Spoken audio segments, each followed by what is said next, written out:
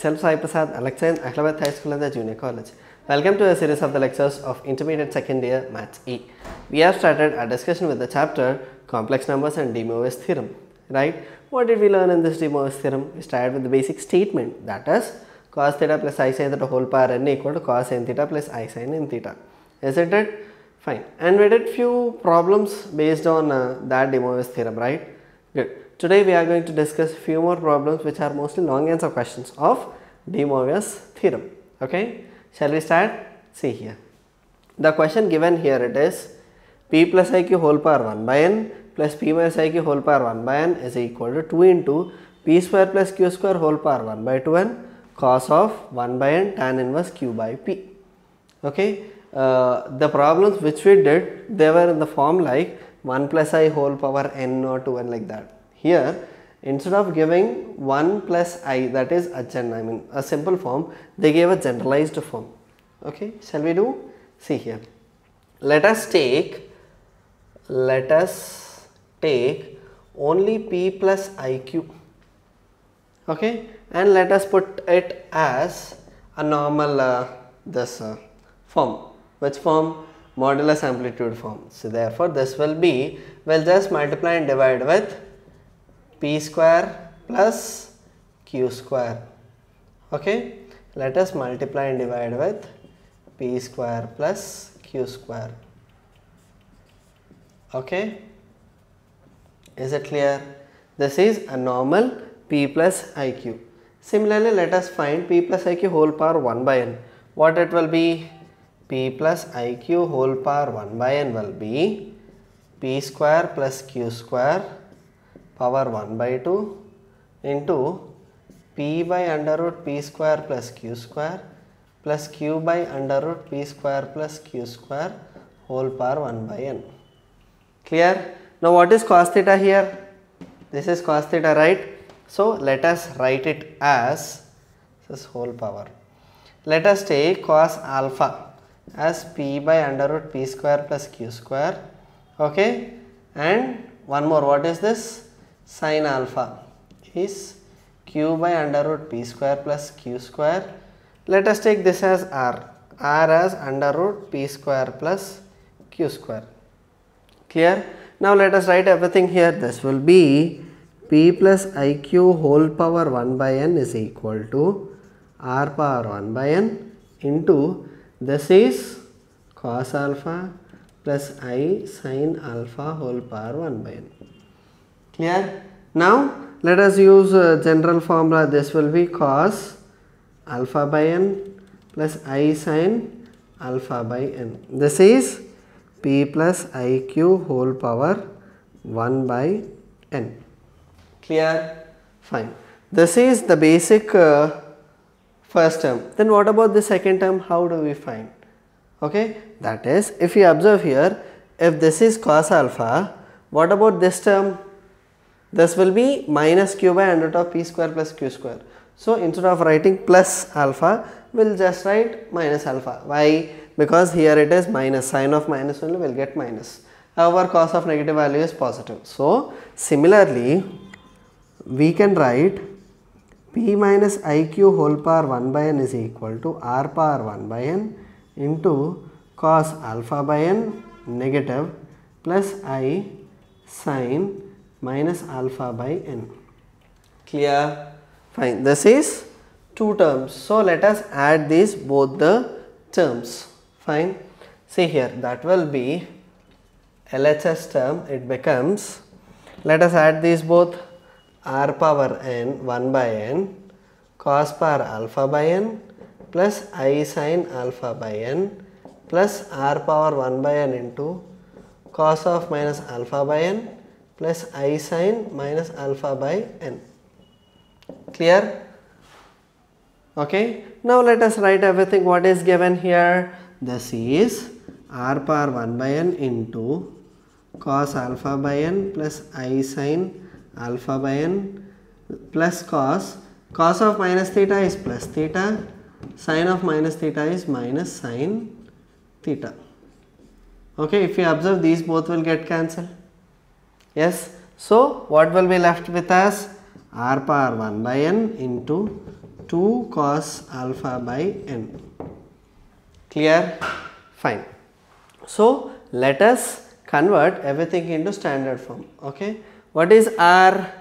Where did we assume R is nothing but p square plus q square whole power 1 by 2. This is p square plus q square whole power 1 by 2 whole power 1 by n into 2 into again alpha by n let us write cos 1 by n.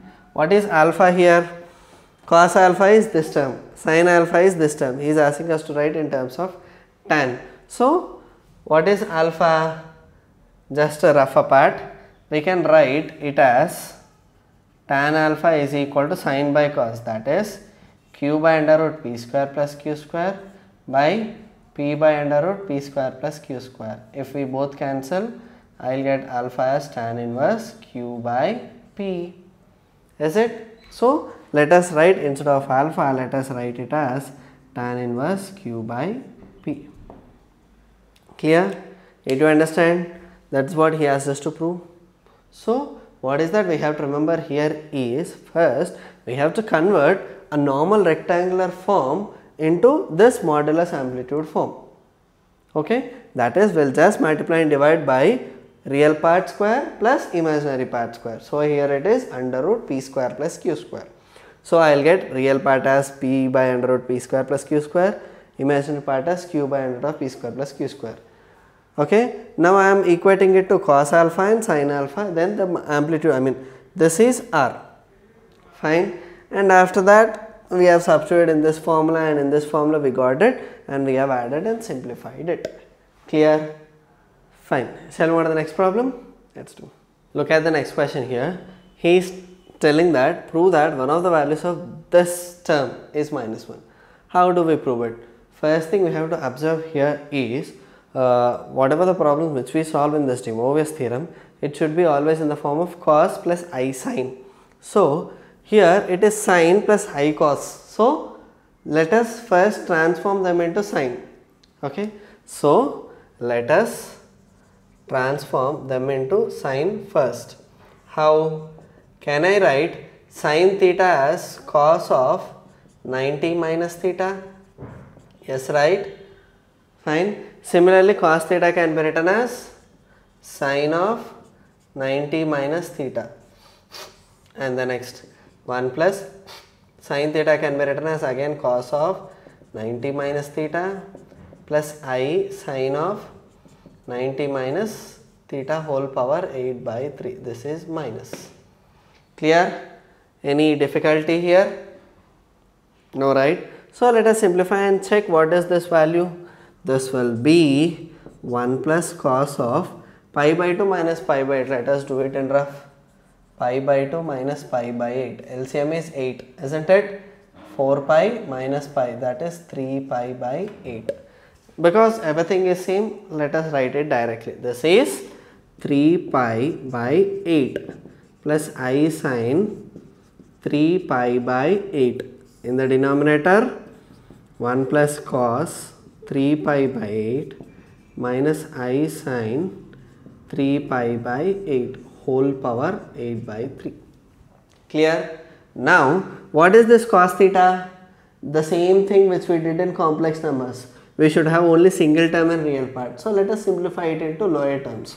So, 1 plus cos theta can be written as 2 cos square theta by 2 isn't it?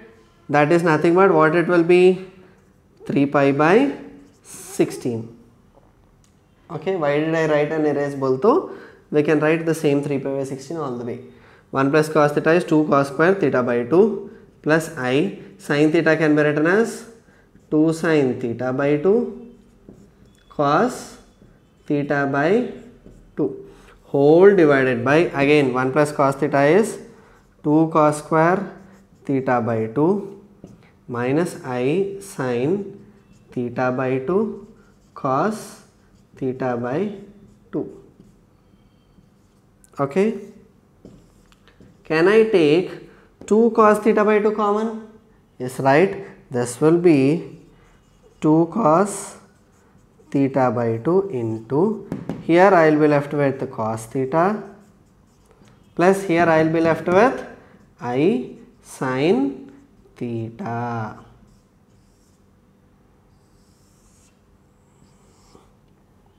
Okay. Here again if I take 2 cos theta by 2 common I will get it as cos theta by 2 minus i sin theta by 2 whole power 8 by 3.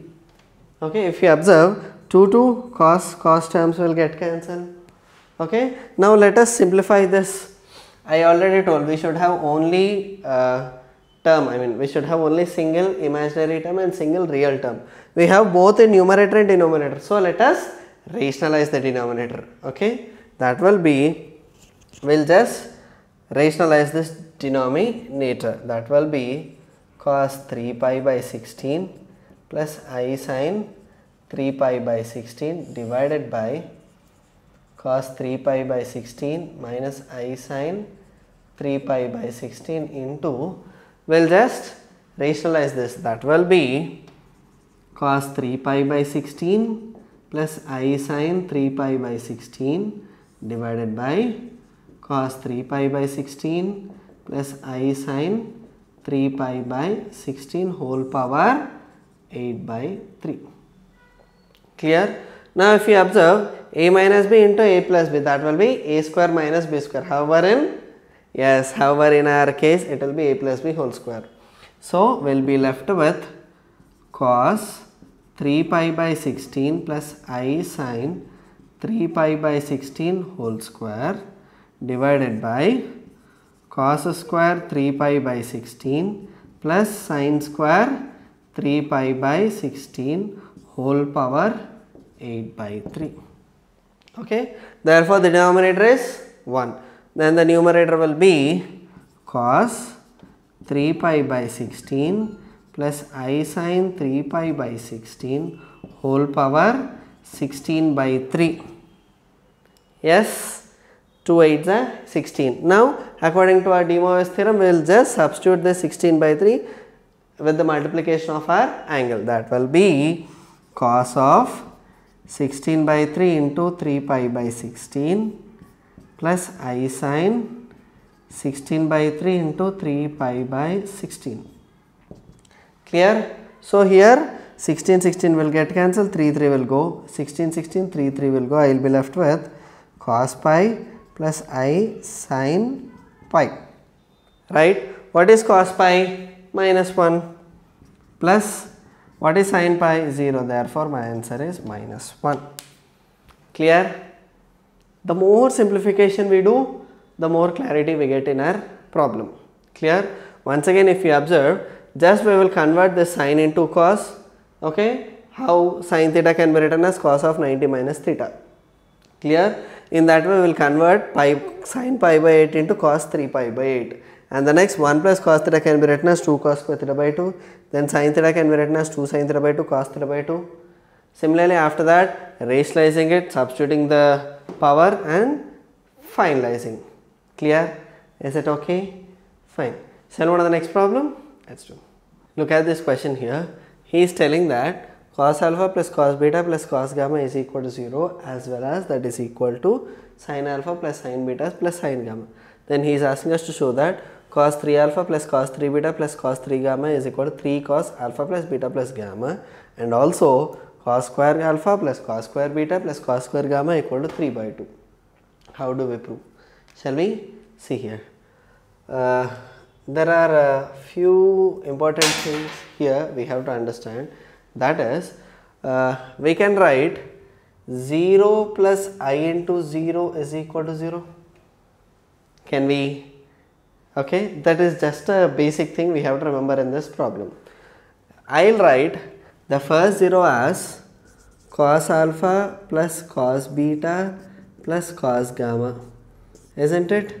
Plus i into second 0 as sin alpha plus sin beta plus sin gamma. Shall i? Fine. Now can i multiply and write it as cos alpha plus sin i sin alpha plus cos beta plus i sin beta plus cos gamma plus i sin gamma is equal to 0. Isn't it? Now tell me what is this cos theta plus i sin theta? That is, let me write it as cis alpha plus here it is cis beta and here it is cis gamma is equal to 0. Yes, fine. Here he is telling that cos 3, cos 3, cos 3. If you observe, if a plus b plus c is equal to 0, let me write here, if a plus b plus c is equal to 0, can I write a cube plus b cube plus c cube is equal to 3abc? Yes, using the same formula, let us write this. This can be written as cis alpha whole cube plus cis beta whole cube plus cis gamma whole cube is equal to 3 cis alpha cis beta cis gamma isn't it a plus b plus c if a plus b plus c equal to 0 then I can add a cube plus b cube plus c cube equal to 3abc similarly if cis alpha plus cis beta plus cis gamma equal to 0 then I can write as cis cube alpha cis cube beta cis cube gamma is equal to 3 cis alpha cis beta cis gamma okay so what is the formula we know? Cis power 3 alpha is nothing but cis 3 alpha. Right? Here also cis 3 beta. And here also it is cis 3 gamma. Okay? So I can write this as cis A cis B cis C as 3 cis alpha plus beta plus gamma. Isn't it? We know these formulas from before. So what is cis 3 alpha? That is nothing but cos 3 alpha plus i sin 3 alpha. And here cos 3 beta plus i sin 3 beta. And here cos 3 gamma plus i sin 3 gamma. That is equal to 3 cos of alpha plus beta plus gamma plus i sin alpha plus beta plus gamma into. Clear? So let us take only real part and real part here. Therefore we'll get it as cos 3 alpha plus cos 3 beta plus cos 3 gamma is equal to 3 cos of alpha plus beta plus gamma by taking only real part. Clear if we take imaginary part we can write as sin 3 alpha plus sin 3 beta plus sin 3 gamma is equal to 3 sin alpha plus beta plus gamma. Even if they ask you to prove that also you should be able to prove. Okay? Fine. Is it clear? The next thing is a main. Let us take from this point let us take cis alpha as x cis beta as y cis gamma as z. Okay? We know the values of x plus y plus z is equal to 0 so let us see here. x plus y plus z equal to 0 let us uh, substitute it. Therefore we'll get it as x plus y plus z equal to 0 similarly let us find for 1 by x plus 1 by y plus 1 by z. What it will be? What is x? Cis alpha. That is nothing but 1 by cos alpha plus i sin alpha. What is y? 1 by cos beta plus i sin beta. What is z? Cos gamma plus i sin gamma. Okay? What is 1 by cos theta plus i sin theta? We always know that it is nothing but cos alpha minus i sin alpha. Clear?